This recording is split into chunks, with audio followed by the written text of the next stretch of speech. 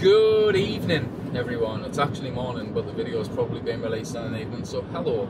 Today is a day trip kind of day, something that we don't normally do, but we thought we'd take you along for the journey because it's something different. And why the hell not? This morning, Danny's knocked us up. Beautiful. What is it? Potatoes. You had that much mess of and potatoes. Are you winding me up? Well, I'll say it's a potato salad, but I hate the fact that it's a potato salad because it's not really a salad, is it? It's a potato with mayonnaise on.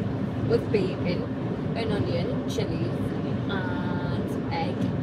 And on mine, I've got olives. I know you were man a three course meal. Amount of mess you made in that kitchen. Does anyone else's missus literally use every single item in the kitchen to make scrambled egg? I'll come in and I'll be like, what the hell is she being doing? And she'll be sitting there with a little plate of or a bowl of scrambled egg. I do even surprise myself. You just come and have a look at my mess, aren't you? like the human Hiroshima bomb, aren't you?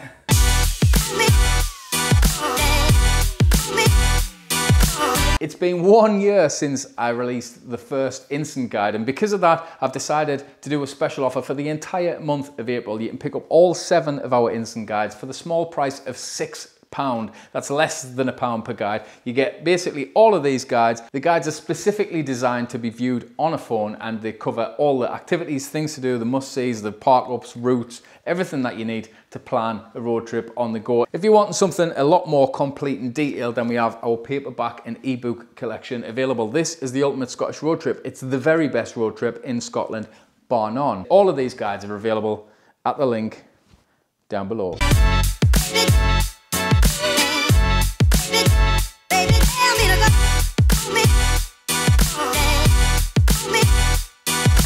There really isn't many castles that are as imposing and as cool to look at when you're driving than Bamburgh Castle. When you get a clear day like today, I mean, although it's cloudy, you can see for miles.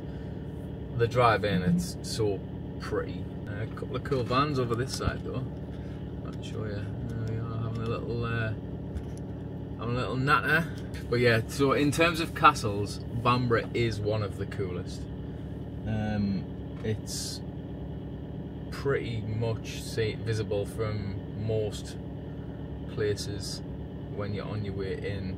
It's when it's a clear day like it is today. You can see it for miles. It's right on the top of a hill. It's it's huge. Um, it's absolutely ridiculous. How they're building stuff like this back in them days is insane.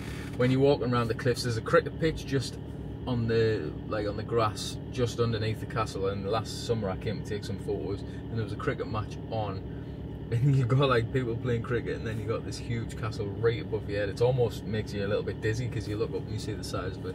So there's about one two three four five there's about six parting bays which you can stay at overnight in this car park. You do, like I say, have to book it online though, so there's a website for it, um, and it's called Links Road Car Park. That's the one.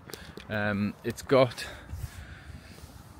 there no sleeping except motorhomes and parking a numbered motorhome bay, and they are the numbered motorhome bays. One, two, three, four, five, maybe. Maybe there's only five of them. Um, I thought there was six to be fair. Um, but like I say, you have to book it in advance. You can't just turn up. Um, I mean, you could maybe try and book it before you get here or when you're here, but you have to book it online anyway, and it's first come first serve. And like I said, there's this one plus Beadnell, um, and there's a few others actually, but they're all on the Northumberland website. So I'll put a link to that below if you are interested. But if you look at this as a park up, you sort of park there you got the castle and then literally like Seahouses is up that way the walks and the pubs and all that that way. We stayed here a couple of times to be fair and it's uh, ideal. There's not really anywhere else to park around here. If you want to stay off grid that's your best bet. I don't think no it doesn't have electric or any hookups like that though so you do have to be self-contained. In all fairness though I've just paid on pay by phone and I went to put two hours and I think it's changed it to three because it's the same price and it's six quid odd so it must be like yeah six pounds 16 for three hours that's expensive that extortionate but anyway at least we're paid for so we're not going to get a ticket I need to get me stuff are you been munching because it smells of eggs in here I had a pre-breakfast well pre-dinner What have you? Which one did you have? Yours? Are all these yours? There's one there mine. That's yours, these are mine. How come I've got the little in? Well, you chose it. I'll give you a choice. Is it nice? It is actually. I'm happy with that. How happy? Um, Extortionate or just happy? no, no, it's nice enough. You'll enjoy it. Good. Time to get all my cack. I don't know which camera to bring. Shall I bring all of it? Yes. Fresh, innit? I like this bit. Like sheep, innit? Mhm. I never wear it. I feel like a bit of a mong when I wear it normally. Why? I don't know why. I like it. Makes us look fatter than I am. No. I didn't need any help looking No, it doesn't. Nice. It's not even my hair. Look how blonde and grey. Unless that's a grey. Oh, Oh my that is- god. that will be yours. I'm getting old. Look at that. The Cute. full on grey hair. So I find Santa delivered the presents to the van. Right, move so I can get me shit.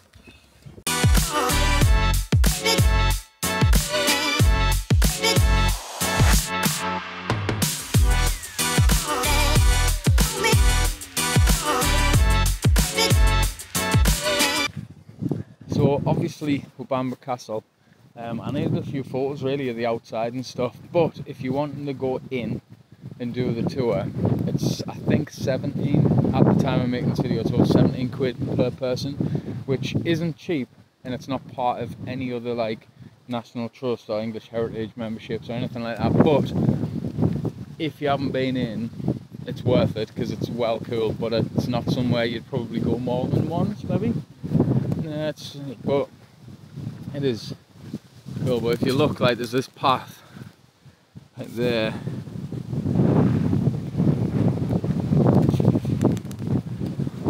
So there's loads of like paths around it and nice walks and stuff all the way around. So plenty of spots if you're not that arsed about going in and looking at some old rooms. There is like they're all furnished in this one as well, where obviously some of the castles are not.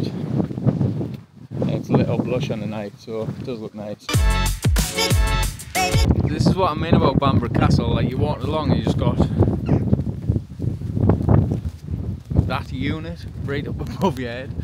It's it's a canny size. Ugh.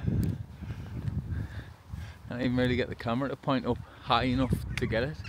Um, but it's quite an impressive sight. Um, in the summer though, all of this is heaving. So this area here is where I was on about where the cricket gets played. It's cricket matches, the pavilion and stuff's there. It's when the weather's nice here, it's absolutely gorgeous, but it is busy. There's not a lot of car parking either, and everyone tries to park on the country road, so they didn't need to pay for parking. But yeah, it is it is a cool spot.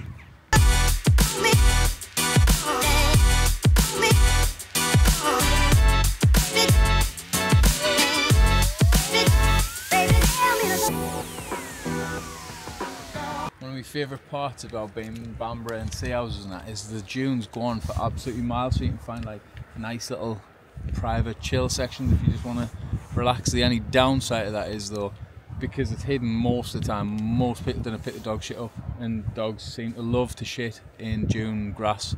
So you do have to navigate with care the little uh, dog parcels that get left in the grass quite regularly. Go look at the castle.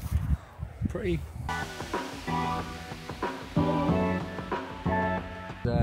scaffolding all over it like so it's not ideal for photographs. Not like I'm just here for photographs like.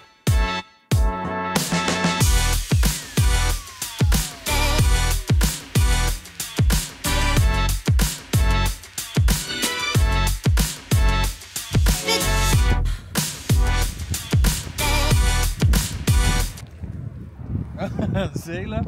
Tell ya. Dog parcels hidden in the grass like a snake there's a snake in the grass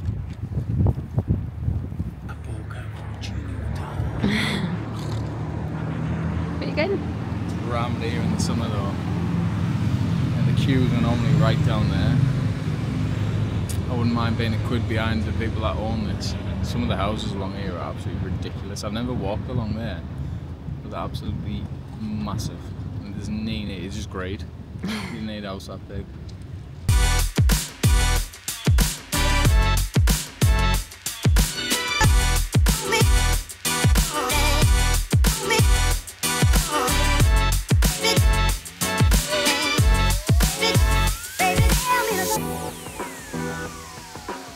Words cannot describe the smell emanating from me uh, chatty salad with some boiled eggs. The eggs are lifting. Um, not a bad little spot though, just the castle there.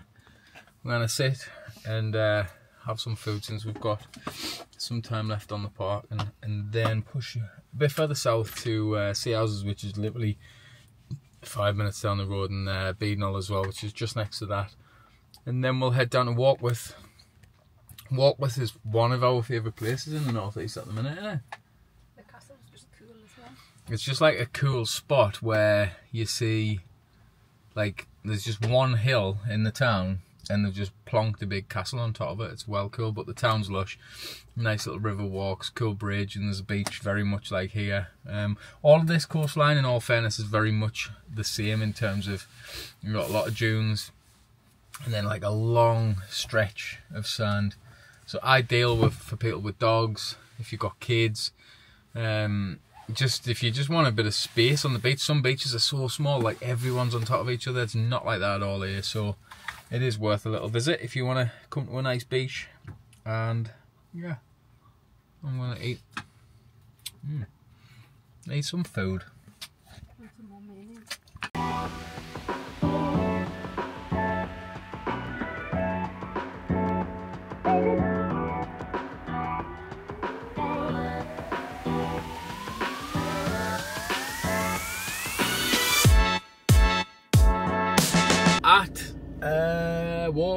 Castle. Last time it was eventful, wasn't Yeah, it? it was. So last time we came here, this happened. Now what had actually happened is the car park was busy and I drove all the way in, couldn't turn around anywhere, didn't want to have to reverse down the hill. So I thought, oh, I'll just drive around the outside. Forgetting how wet everything is. I got so far, I got stuck. We did actually end up managing to get it back quite far, but then it just sort of dug in and I just couldn't. I tried rocking it. We, there was a skip. We were like pillaging the skip for bloody bits of wood and all sorts to try and get out. And anyway, I ended up having to ring someone off Google who came and dragged us sideways off out the mud um, in a VW Touareg B6 thing, um, which could probably tow the castle if it needed to. Um, but this is what with Castle. One of the things that we've done in the Borderlands travel guide is we've made sure that any of the castles or anything like this, if it's part of, say, National Trust, English Heritage, Scottish Trust for Scotland or whatever it's called, Scottish National Trust, we've got it in there which one it's a member of. So if you do want to join one, you can look through the guide, see which ones you fancy doing, and if I don't know, most of them are English heritage, you think, ah, I'll join that. Because if not, I think this castle and most castles are about £9.50 per person for adults to come and have a walk around, and it's not worth it at all. But if you remember, and it's about a tenner a month, and if you once you've visited a few, That's the thing. Once you've um, paid for admission to a couple, you've nigh on spent your year's Yeah. worth anyways, haven't you? Uh, so it is worth joining. Um, but like I say, the, the castles and stuff, if you're English, definitely, or you travel to England a lot, then the English Heritage one is good because there's tons of castles and all sorts all over the country, and it's covered by pretty much, it covers most of them. National Trust more like the estates, like Cragside, places like that. Um, National Trust though, you do get entry to the, a lot of the car parks for free as well, which you do in English Heritage, but you also get um, the Scottish one as part of it. Um, I'm sure there's more information on the website and stuff if you're not sure what to do for that. But anyway, we're gonna get our stuff together. I've got my little membership card, and we'll have a mosey in Warkworth Castle. It's a lovely spot, right on the top of the hill, overlooking the whole area, so you can see it from miles. Um, and again, when I was researching all of this, there's a lot of cool history in this castle. A lot. But it's in the book, so you have to buy that. I'm not. I'm not telling you now. I'm not giving you free No, information. none of that free. I've already give you too much. Too much. Give too much away.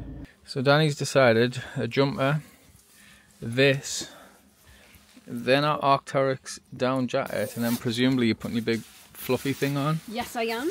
So if you see it's us, cold. If, put if you see us and you think it's the honey monster, it's not. It's Danny with about 19 layers on. How can you move? Babe, it's cold.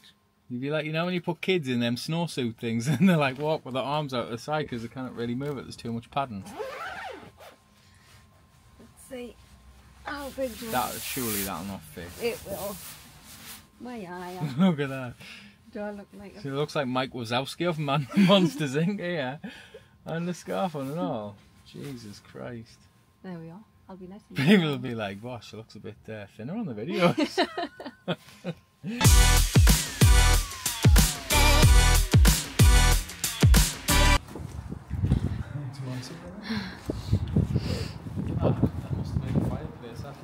size of that.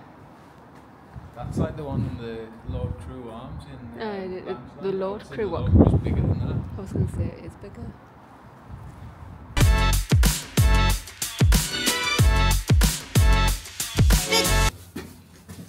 These are the stairs to the ale cellar.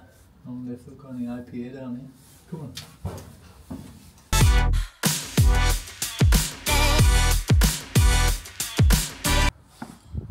The staircases so narrow?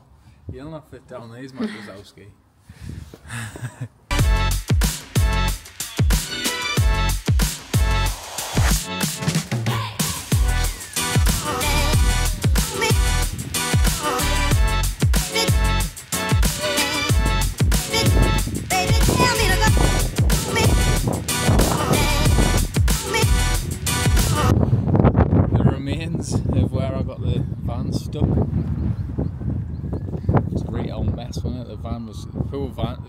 park next to us, and us trying to wheel spin to get out. It was just cake and mud all over their windscreen.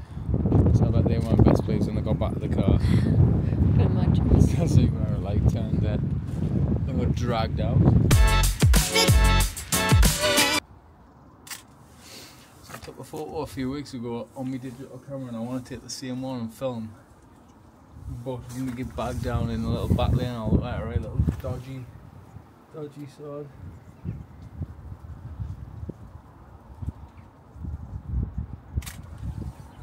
And I'm trying to film finish these rolls of film. There's three photos left of this one.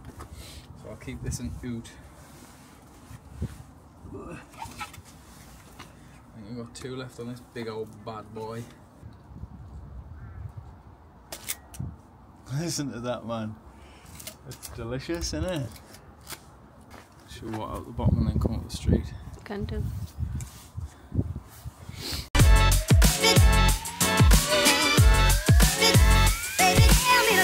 That was Warkworth. Lush little spot, lush little village, Belter Castle, freezing cold, right on the top of the hill. And it's been an interesting and different one this time. Um, like I say, not our usual stuff, but we thought we were popping out for the day. So why not?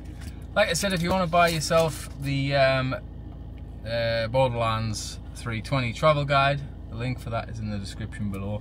Thanks to everyone who does buy it. It supports the channel and it saves us having to do reviews of stuff that I don't want for money.